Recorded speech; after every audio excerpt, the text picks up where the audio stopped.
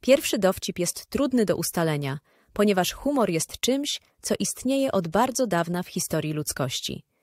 Nie ma jednego ustalonego momentu czy osoby, która by go wynalazła.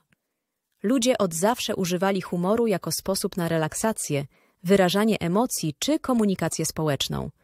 Można jednak spekulować, że pierwsze dowcipy pojawiły się wraz z rozwojem języka i zdolności do abstrakcyjnego myślenia. Archeolodzy odkrywają dowcipy z czasów starożytnych cywilizacji, takich jak starożytni Egipcjanie, Grecy czy Rzymianie, co sugeruje, że humor był obecny w różnych kulturach od bardzo dawna. Pierwsze dowcipy mogły być proste grzechem słowa, komicznymi sytuacjami czy absurdalnymi zdarzeniami.